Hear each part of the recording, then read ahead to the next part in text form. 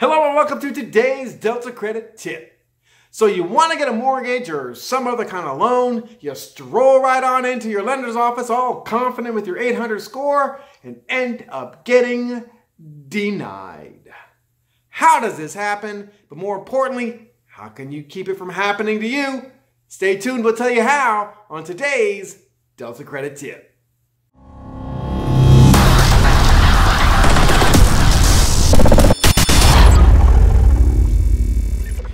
Welcome back to today's Delta Credit Tip.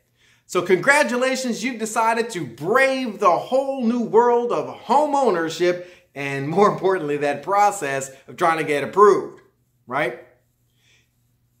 The first thing you may figure out is that having good credit isn't going to necessarily get you that loan you're looking for.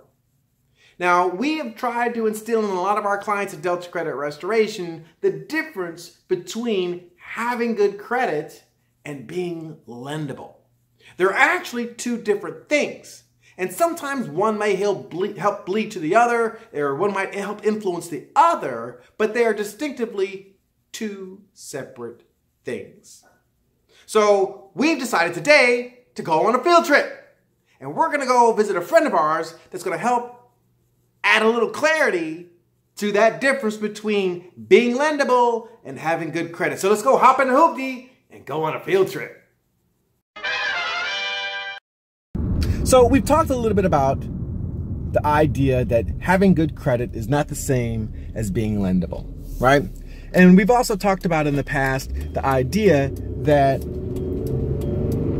your credit is not a score right? Your credit is a series of behaviors that lead to a score. But when you're trying to be lendable, that's a little harder to navigate, right? Because there's guidelines that are coming into play. And so you might not know exactly, well, what behaviors do I need to be cognizant of? What behaviors do I need to be having? You know, I don't know what's really going on around me because I, I just don't know what they want. Well, this is where simply surrounding yourself with someone who does can be a big help. You may say, well, I don't really know any lenders. Well, if you happen to be buying a home and you have a realtor, that realtor probably has a lender in mind. Uh, if you have a checking account somewhere, I'm pretty sure there's a lender, a mortgage lender at that bank. And then we do also live in the Google age. I mean, you can't just Google it and find a local lender to you. Hopefully, you'll find one that understands what the guidelines really are. They've been around for a little while and have some time on their hands to talk to you about it. Well, either way, I've got those friends. And we're going to go talk to one now so that we can see what we need to do to be lendable.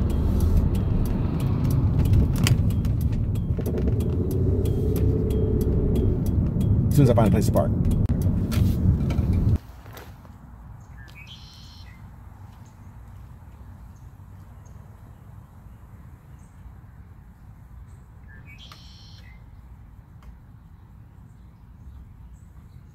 Hello and welcome back. So we're here with my friend Lisa Wheeler. How you doing, Lisa? I'm good, Michael. Thank you. Lisa's been a lender now for 25 years and she knows a little thing or two about being lendable, right? And so she's going to help us today learn a little bit more about what we're talking about about being lendable and having good credit. So, Lisa, what do you mean I can have good credit and not be lendable? Great question, Michael. So the way I explain it is that each client is kind of like a triangle. So we have three different points to the triangle. Up top, we have the credit, and that doesn't just mean credit score. That also means credit history, because that's what we as lenders look at as being indicative of whether or not you're going to be able to pay your loan in the future.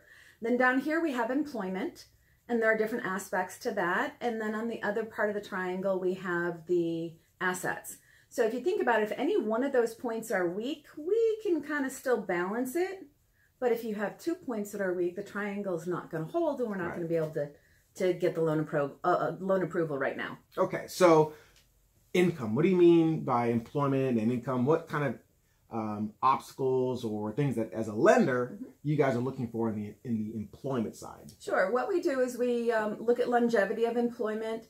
Are they is the client somebody who's had five jobs in the last two years? It doesn't mean that they're not lendable but it means that there's other documentation and things that we have to strengthen that corner of the triangle. And then we also look at whether or not the client um, is a wage earner or self-employed. If somebody is self-employed or receiving commission or bonus or overtime income, they have to be in their current job for two years Mm. before we can use any of that income. And then we average it, average it over two years. Okay. So on the credit side, of course, everybody wants to know what is the magical score Hmm. that they have to have to get a mortgage. And your answer to that is There is not a magical score. Go back to the triangle. If we've got, let's say, a 400 credit score, but we have assets that somebody can put down 50% on a property, then we're strengthening the points of the triangle. So there's not a magic score. It all depends on the product mm-hmm. and the other two points of that triangle. so what kind of products are you talking about? Because I know that there's different types of loans, mm-hmm. right? Absolutely. So and each each product has more Specific characteristics. right of, Yes. a, of a, a score requirement. Um, and I know for things like down payment assistance, they may Mm-hmm. need a certain score, but for VA or FHA or conventional, all these things are different. Yes. All right. So now on the asset side, what do you mean by assets? Um, assets are anything that's liquid. So within seven days, how much cash can you have in your hand? And by cash, I mean that term very loosely because cash is not an acceptable asset. So there are there are things that have to be addressed differently if somebody has you know five thousand dollars saved up in their mattress. Ah, But if somebody has personal savings or a 401k, checking account, things like that, that strengthens that point of the triangle as opposed to somebody who is getting their entire down payment as a gift from a from a relative. We can still do that, we can still use that, but it does have to be dressed a little bit differently. So what you're saying is I can walk in here with an 800 credit score, but if mm-hmm. I've got no assets and no job, mm-hmm. I'm not going to get a loan. Just like I can walk in here with say a bankruptcy somewhere in the past on my credit report, but I've got strong assets and maybe great income. Mm-hmm. There's still that possibility I can get that mortgage. Uh, more of a probability. More. Absolutely. We have products that one day out of a bankruptcy, Nice. we can get the loan. It's going to be a larger down payment. Right. So again, we're all looking at the points of the triangle. We have to have at least two strong points to build up to an approvable client. Awesome. Well, I hope this information helps, and thank you to my friend Lisa My. Wheeler, who's always been there for us here at Delta. Uh, hopefully, this information has helped. If so, please give it a thumbs up, hit the bell below, because every Thursday at noon, we're going to be bringing you more information on your quest on building your credit or even being lendable, right? Sounds good. And in the meantime, make a choice, make a change, Delta.